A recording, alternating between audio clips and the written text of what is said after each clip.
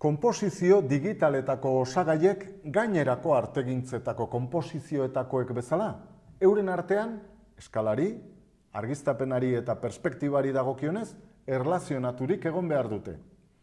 Margolaritza eta argazkilaritza klasikoa dira esandakoaren lekuko. Komposizio digitalak lanerako erabiltzen dituen tresnek, erraztasuna, potentzia eta malgutasuna eskaintzen dizkigute irudiekin lan egiteko ikus ditzagun aukera batzuk.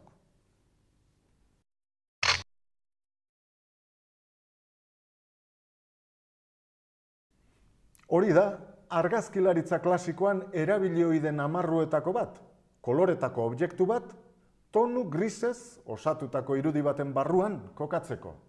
Irudiak lantzeko programa batekin oso erraz egin daiteke hori.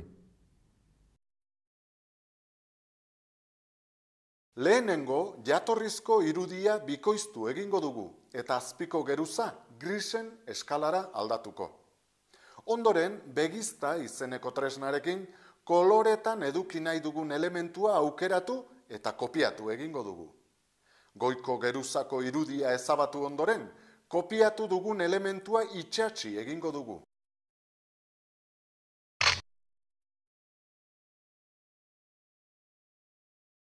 Hauxe dugu irudi digitalekin egindako lanen artean egilea gehien asebetetzen duena. Argazkilaritza hasi zenetik egiten da kolaxa. Gero, artista grafikoek landu zuten kolaxaren teknika. Gaur egun, irudiak lantzeko programei esker, erraztu eginda erruz kolaxaren teknika eta haren emaitzak ia perfektuak dira.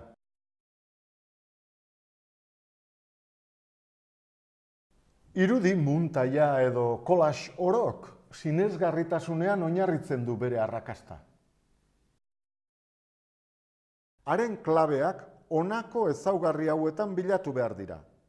Multzoa osatzen duten elementuen eskalaren eta perspektibaren proportzio egokian, eta haiek proiektatzen dituzten itzalen norabide eta intentsitate orekatuan.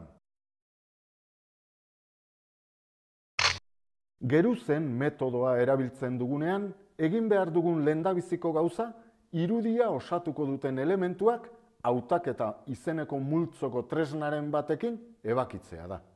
Hori egin ondoren, elementuak ordenaturik atzetik aurrera kokatuko ditugu eta haien tamaina doituko.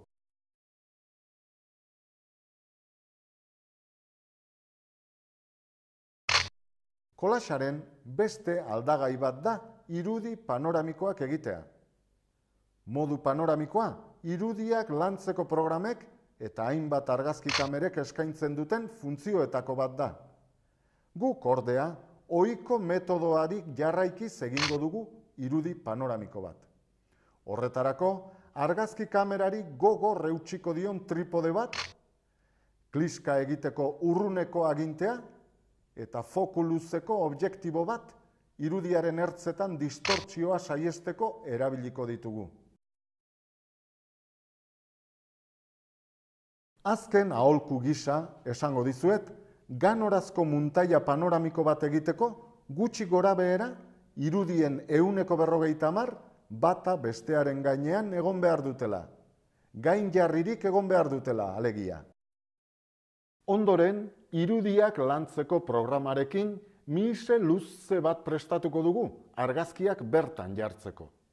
Panoramika osatuko duten argazki guztiak ipini ondoren, haien koloreak berdindu egingo ditugu, eta goitik eta behetik ebakiko argazki zuzena lortzeko.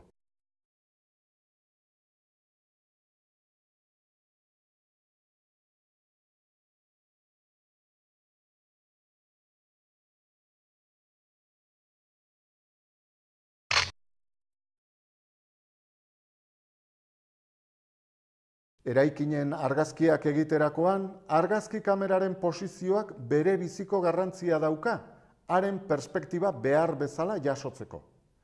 Horrela bada, argazki kamera beherantz begira jartzen badugu, eraikina aurrerantz okerturik dagoela irudituko zaigu. Hori ekiditeko edo saiesteko, argazki kamera guztiz vertikal izatea komeni da.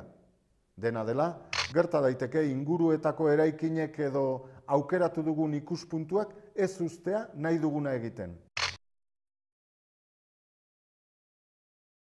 Akats hori zuzentzeko, programa abiarazi ondoren, perspektiba izeneko tresna erabiliko dugu. Esaterako, atzerantz okertuta dagoen irudi bat badaukagu, haren perspektibaren zuzenketa behe aldea estutuz edo goi aldea luzatuz egin dezakegu. Hori bai, kontuan izan, emaitzarik onenak irudiak estutuz lortzen direla, ez haundituz edo luzatuz. Irudiaren deformazioak saiesteko, haren erpinak, goikoak eta behekoak, simetrikoki mugitu behar dira. Perspektiba doitu ostean, irudia berriro enkuadratu beharko dugu, sortu diren gune utxak betetzeko eta argazkia zuzen erakusteko.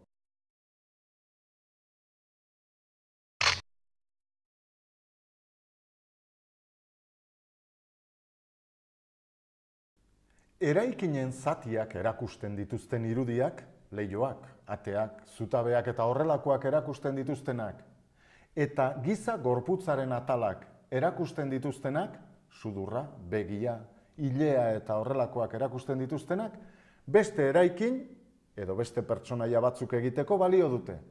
Lan hori egitea, puzle bat egitea bezain erraza da. Teknika horren bitartez, ohiko bitarteko ez osorik atera ezin dugun eraikin bat oso osorik erakus dezakegu. Eraikinaren atalak zehaztasunez ebakitzeko hauta tresnak erabiliko ditugu.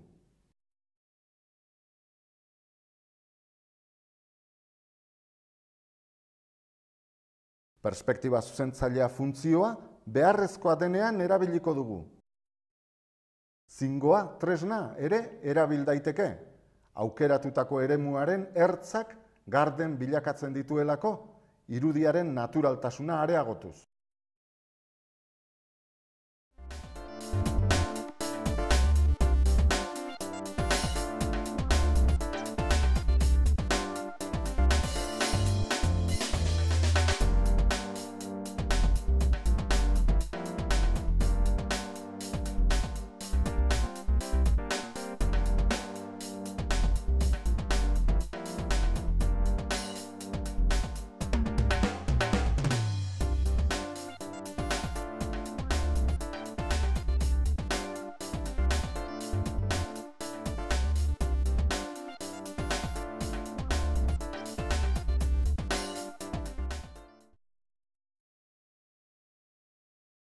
Pertsonaiak berrera ikitzeko erabiliko dugun tresnak hauek dira. Auta tresna, gorputzaren atalak zehaztasunez ebakitzeko, eta zingoa, atalen ertzak garden bilakatuz, atalak naturaltasunez elkarri lotzeko.